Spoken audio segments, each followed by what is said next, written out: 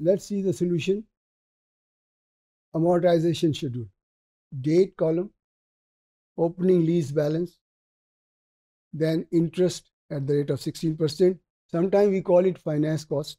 And the payment, the payment will be the same all four years. Then the principal paid. Try to understand this word principal paid. You are paying 35,740, but in that it includes interest of 16,000. So the difference of 35,740 and 16,000, that is the principal paid. So look here, your liabilities was 100,000 assets you have, and you paid only 19,740 out of it.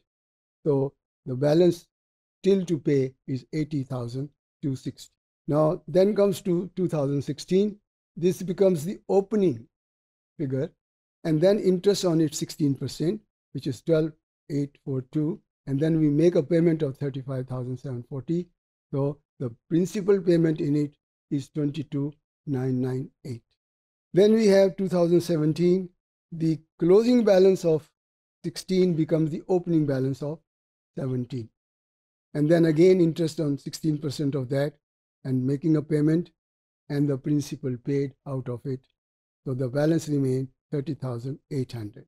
So this 30,800 become the opening of next year and then the interest on this. Now if you work it out 16%, exactly you will not get this exact figure.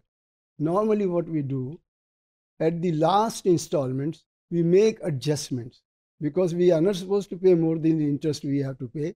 So if it is more or less, we have to adjust it here. And then we paid nil, so balance is nil. Now look here, you add the interest figures, 42,960. You add the lease payments, 142,960, and see the assets value, which is 100,000. So this is amortization schedule.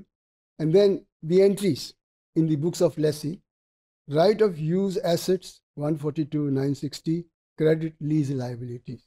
Then we pay at the end of the year lease liabilities, interest expense total, and bank account credit.